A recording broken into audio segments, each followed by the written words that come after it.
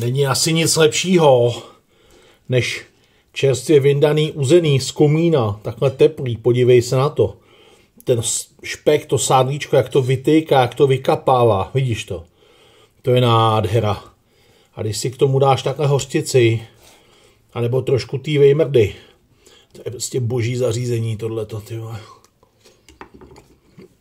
Ale já jsem tam jak dobrman. K tomu kousek domáckého chleba.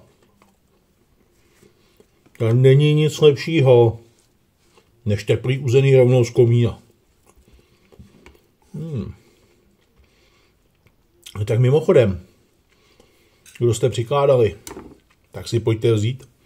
Pojďte si stoupnout do fronty, ať to můžeme sázet do šachty. To je pecka. Hmm.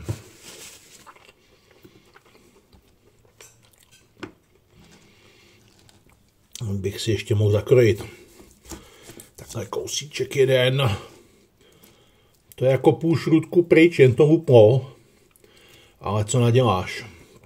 Lepší už to fakt nebude. Jako. Není moc lepších věcí na světě, než je super uzený bůček. Co si budem. Tak jo, přátelé, já vás nechci nějak rozrušit, ani vyrušit. Já tady prostě teď budu lehonce debužírovat. Budu se na vás těšit u nějakého videa příště. Tak hele, uzení zdar. Nebo i domácímu pečení.